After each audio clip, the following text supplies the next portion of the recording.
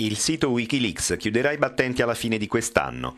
Mancano fondi per mantenerlo in vita, conseguenza del boicottaggio messo in atto dall'anno scorso da banche e servizi di trasferimento di fondi online. Il boicottaggio è costato all'organizzazione decine di milioni di dollari in donazioni mancate, ha detto Julian Assange, in un momento di costi crescenti a causa di accordi editoriali in più di 50 paesi, con oltre 90 tra media e organizzazioni umanitarie.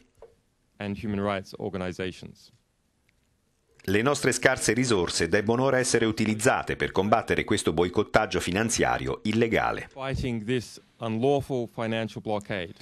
Alcuni servizi bancari hanno interrotto il trasferimento di fondi a Wikileaks dopo che l'organizzazione è diventata la bestia nera del governo americano, pubblicando dapprima rapporti riservati sulle guerre in Afghanistan e Iraq e poi centinaia di migliaia di dispacci diplomatici segreti.